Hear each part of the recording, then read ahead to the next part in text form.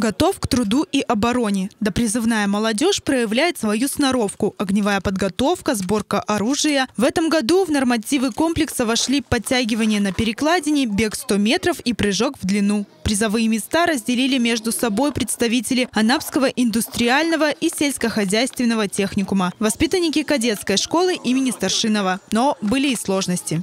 Был, наверное, автомат. Да, сборка, разборка автомата. 26. Самое трудное?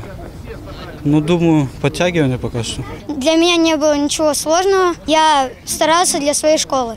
Все команды-участники были награждены грамотами и кубками. Однако представлять Анапу на зональном этапе в Славянске на Кубани будет лишь победитель. Им стала команда Анапского индустриального техникума.